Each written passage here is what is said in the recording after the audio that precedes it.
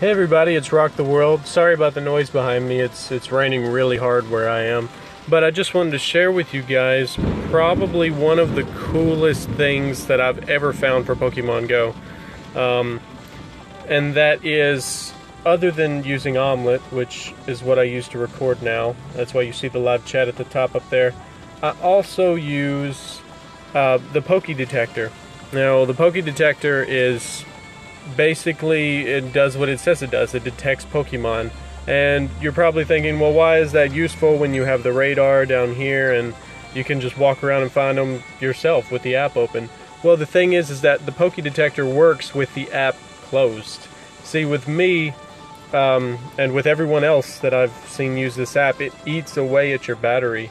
So uh, a quick way to fix that is to not have the app open while you're hunting for Pokemon.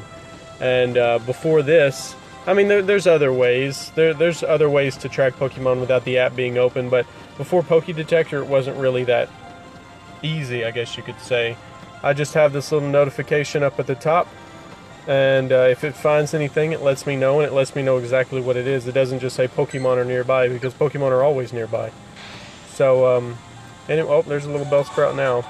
So anyway, um, I just wanted to go ahead and share with you guys probably one of the coolest things that I've found uh, for Pokemon Go. And um, if you guys have any other tips or tricks that you'd like to share, uh, oh, see, just got a notification now. Pidgey Weedle and Nidoran. So, um, and I guess it didn't track the Bellsprout. So it's not 100% accurate, but it's it's pretty good.